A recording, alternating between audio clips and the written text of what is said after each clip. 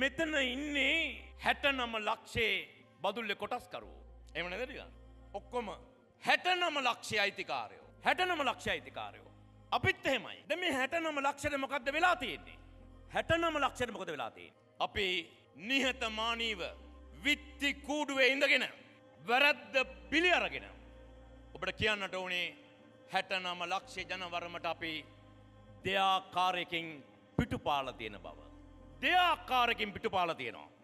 ඔබ එදා දෙදස් දහනමේ අග හැට නම ලක්ෂයක් පූජ කරේ. මේ රටේ නීතිගරුක සමාජයක් හදන්න. සිිස්ටම් සදන්න. විනය හදන්න. හොරකක් නොකරන පාලනයක් හදන්න. පරමාදර්ශී පාලනයක් හදන්න. තරුණයෝ පාරට ආවේ බිත්තිවල පින්තුර ඇන්දේ ස්වේච්චාවෙන් ඇයි ඒ මහා දැබැන්ත විශ්වාසය නිසා. නමුත් අපිට අවුරු දෙක හමාරක් යන්නකට අපි දැක්කේ මොකක්ද. නීති නීතිය වෙනුවට අනීතිය. හොරකම යවා ගිල්ලා. පවුලක් මුල් කරගත්තු දේශපාලනය.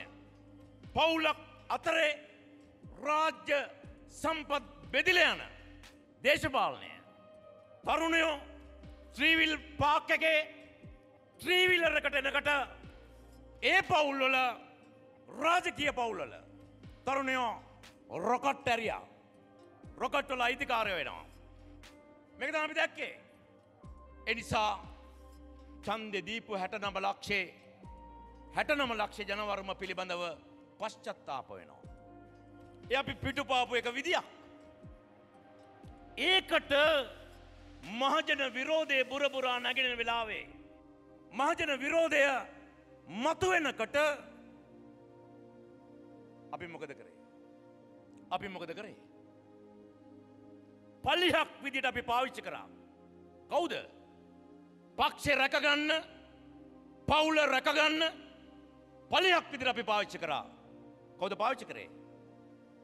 දෙදස් පහළුවේ ආණ්ඩුවේ මේ විනාශයට මුල කියලා අපි කියපු විත්තිකාරයා අපි පෙන්නපු බිල්ලා බිල්ල ගෙනල්ලා අගමැති කරා ජනාධිපති කරා.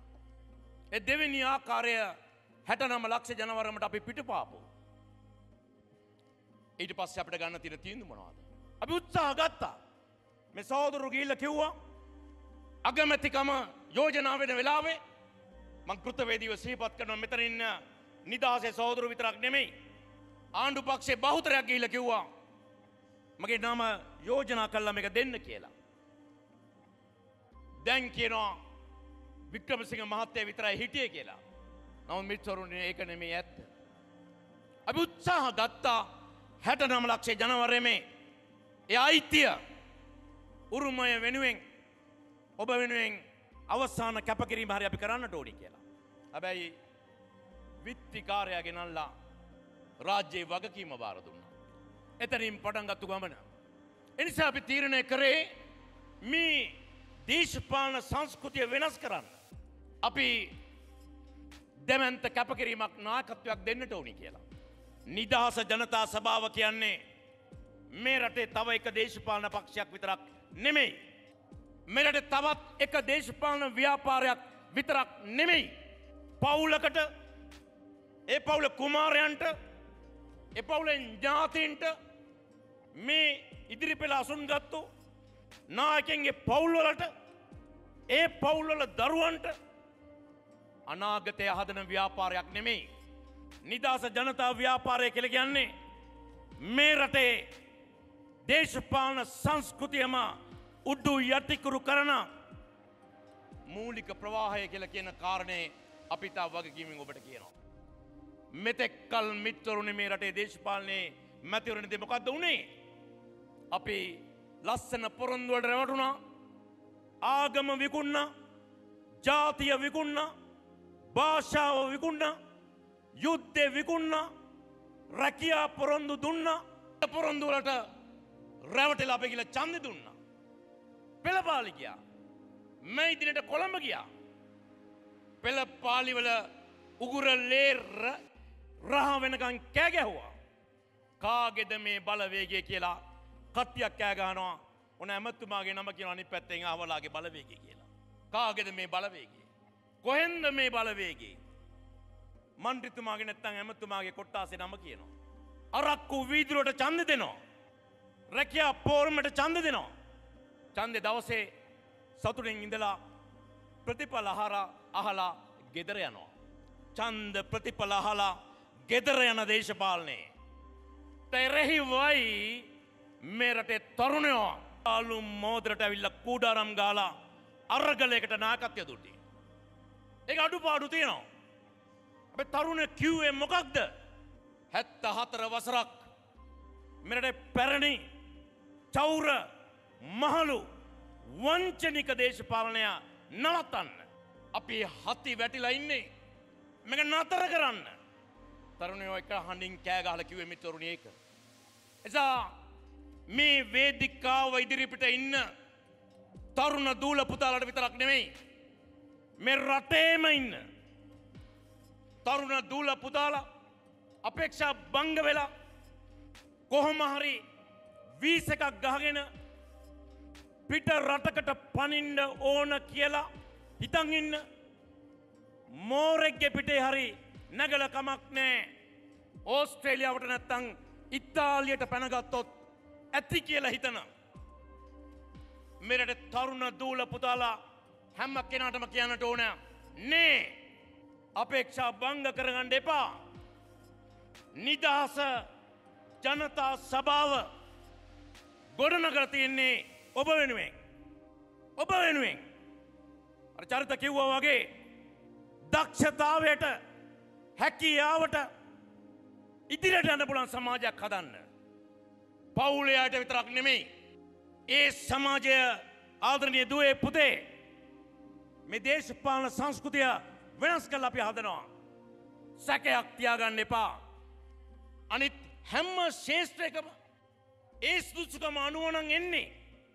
බදුල්ල ධර්මදූත ජාතික පාසලේ විදුහල්පතිවරයා විශ්‍රාම ගියාම විදුහල්පති වෙන්නේ හිටපු විදුහල්පත්තුමාගේ දුවද පුතාද මල්ලිද අයියද බදුල් ස්ටේෂන් මාස්ට විශ්‍රාම ගියාම ඊළඟ ස්ටේෂන් මාස්ට කවුද? හිටපු එක්කෙනගේ පවුල කෙනෙක්ද? හිටපු එක්කෙන පවුල කෙනෙක්ද? ඌව වෙල්ලස්ස වෙල්ලස්ස විශ්ව විද්‍යාලේ උප කුලපතිවරයා විශ්‍රාම ගියාම ඊළඟට පත්වෙන්නේ කවුද? හිටපු උපකුල පතගේ පවුල කෙනෙක්ද?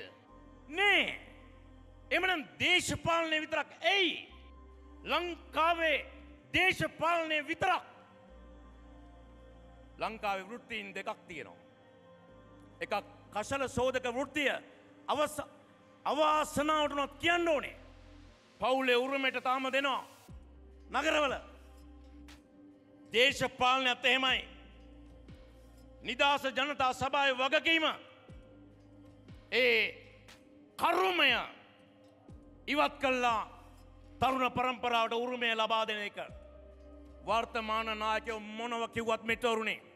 නිදහස ජනතා සභාව දෙන නායකත්වය මග පෙන්වීම. අපි මේ බදුල්ල පුරවරඉදල කියනවා නවත්තන්න පුළුවන් ජගතෙක් නෑ.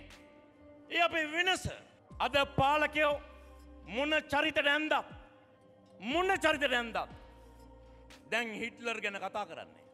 තරුණයන්ගේ අරගලේ යම් යම් අනීතික දේවල් පෙන්නලා අද මානව හිමිකම් ප්‍රජාතන්ත්‍රවාදය අත් අඩංගුවට ගන්න හදන වෙලාක් මේක. එක පළමු ප්‍රකාශනය තමයි මම හිටලර් වෙන්න සූදානම්. හිටලර් වෙන්න සූදානම්. හිටලර් බිහි උනෙත් මට මතක විදිර නමසය විසි හතේ පමණ හින්ඩන්බර්ග් දේශ හිටපු ඇමරිකාවේ ජර්මණයේ ජනාධපතිවරයා. හිට්ලව ගෙනල්ලා අඩ්ලොප් හිට්ලව ගෙනල්ලා චාන්සලව කරේ දේශපාලන ආරාජිකත්වයට දා ආර්ථිකය අව පාතට උත්තරයක් විදිහට. එසම් මතක තියාගන්න මේ ජනාධිපතිවරයක් මේ ජනාධිපතිවරයක් දේශපාලන ආරාජිකත්වයේත් ආර්ථික අව පාතේත් දේශපාලන ආරාජිකත්වයටත් ආර්ථික අවපාතයටත් දාව ඉපදිච්ච ජනාධිපතිවරයෙක්. මේ ජනාධිපතිවරයා ඉපදුන එහෙමයි. හිට්ලර් නෙමෙයි කවුරු විදියට ආවත්. මෙතොරුණේ එදා හිට්ල බලයට ආවේ ජර්මණයේ නාසිවාදින්ගේ කරපිටින් උදව්වෙන් නාසිවාදීන්ගේ මේ ජනාධිපතිවරයාවේ ශ්‍රී ලංකාවේ නාස්තිකවාදින්ගේ කරපිටින් උදව්වෙන්. ඒ නාසිවාදීන් මේ නාස්තිකවාදීන්. එන ඒ නිසා හිතනවා ඇති. ඔ අපට මේක කරන්න පුළුවන් කියලා. ඔ අපට මේක කරන්න පුළුවන් කියලා. මෙරට ප්‍රයන්ත්‍රවාදයට ගරු කරන ආදරය කරන හැම්ම බලවේගයක් මෙගතුරගෙන. මිතුරුණි නිදහස ජනතා සභාව හදන්නේ. මේ නැගිල එන ඕනම මර්ධකට මර්ධනයකට මුණ දෙන්න පුළන් පරිසරය ගොන්න ගන්න.